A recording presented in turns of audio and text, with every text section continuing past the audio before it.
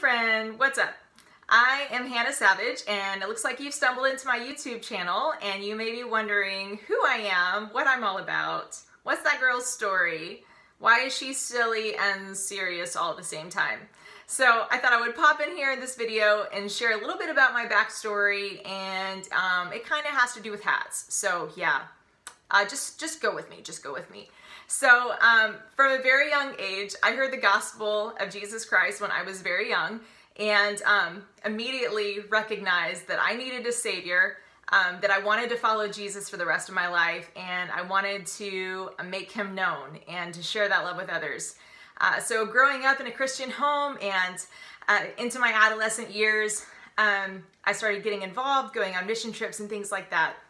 However, um, somewhere along my journey, um, a very, very sneaky lie um, snuck in. And it, it was something like this.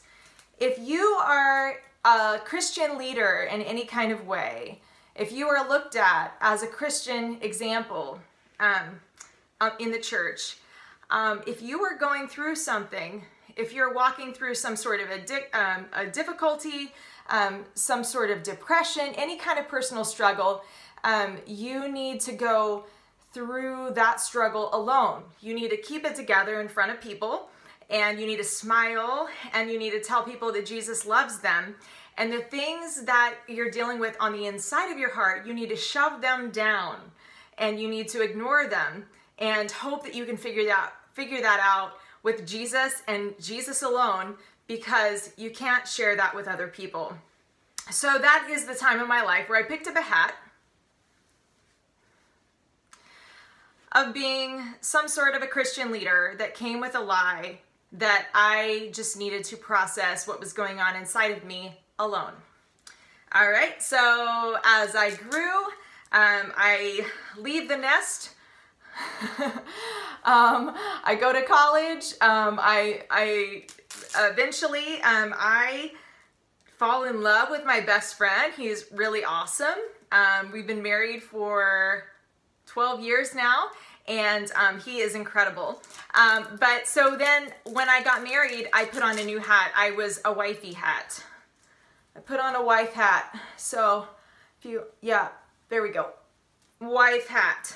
Okay, I gotta be a good wife. Be a good wife. I can do that. So then um, in my marriage, you know, I, um, you know, we, we thought it was a good idea to, um, you know, be able to pay our bills. And so um, as I continued to develop in my career, I became a corporate working woman. So I, I worked a full-time job and um, so I, I put on a new hat uh, of a corporate corporate work woman. I love corporate work, work women. And so I put on a new hat. Um, and so I did that. And so, um, and it was during the time that I was a corporate work woman, before I had kids, um, that, um, that I put on another hat. And actually, I don't know if it was a new hat or if it was a hat that kind of just showed up that was there all along. Um, but so I started realizing um, how much I hated myself. And so I became obsessed with my weight. I became obsessed with how I looked. And um, I found myself in a pit of disordered eating. Um, I would just binge and binge and binge and binge. Um, I would hide it and um, I began I began throwing up and um, I began lying to my husband about it. Now, we were youth pastors. Um, I was a worship leader. Um, we were elders in our church. Um, but because, you know, because I had this hat on that told me that that I needed to process what was going on in my heart alone, I just needed to try to figure it out on my by myself. And so um, I sat in this hat. This hat was extremely heavy, um, came with a lot of weight and a lot of shame. Maybe you can relate. So um, as I keep going, um, maybe I'll do a separate video on that sometime. Um, I picked up um, a new hat. So I, I got through that and, uh, and I became a mom. So you know, I debated whether or not a mom hat should be like pink or like army, but I think I think if you would ask me then I would say pink, but I think now that I've been a mom for nine years, I would say Army. So I became a mom. And so I'm going to tell you a story. So I have my um, baby girl and uh, we are in a meeting and I am an exhausted working woman because remember I still have my hat on. Um, and so I am in this meeting and this lady was talking and she said, um, today God wants to give you a new name. Well, I thought that sounded interesting. Um, and then I remembered a scripture in Revelation where it talks about actually God giving you a new name. So I said, okay, I'll, I'll, I'll follow this train. So she said, ask God what your old name is. And I said, okay, God, what is my old name? And he said, fear of not being enough. Yeah, kind of hit me um, because that was exactly where I was. As a wife, a mom, a leader, a corporate woman, all of these things, I was living under the weight of a fear of not being enough. And um, you know, along the way, I picked up, uh, traded out my corporate hat for a homeschool mom hat because God called me to do it. And I find here, I go back to this story where I said, God, what is my old name? And he said, fear of not being enough. And she said, ask God, what is your new name? And I said, God, what is my new name? And he said, beloved. Can I tell you that um, this is what the love of God does to all of our hats. The love of God shows us what it means to be his beloved, to be a daughter. The words of Christ, the way that he's impacted my life, has changed me forever.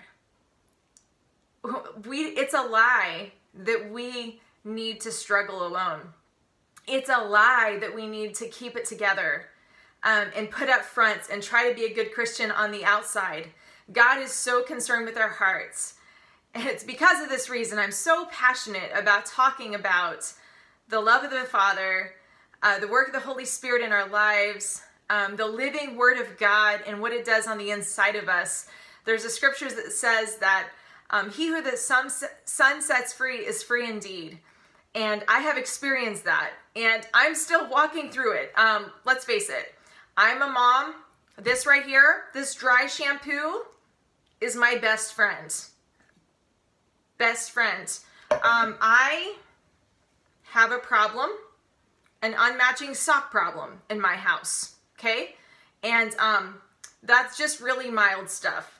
I have a kid with special needs. Um, there's all sorts of things that we've walked through and fires that we've walked through, but this much I know that what we do is significant and who we are is significant before we even do the things God's called us to do. That God's presence in our lives makes all the difference in the world. And God's presence gives us the courage to show up to our own lives, to show up to the process that He's doing inside of us the Bible says that he's working in us to will and to do his good pleasure. So he is with us. We can show up to what he's doing in us. We don't have to shove down what's going on in our hearts, whether it's a past hurt, whether it's um, just whatever it is. Maybe motherhood doesn't look like what you thought it would look like. Maybe marriage isn't what you thought it would look like.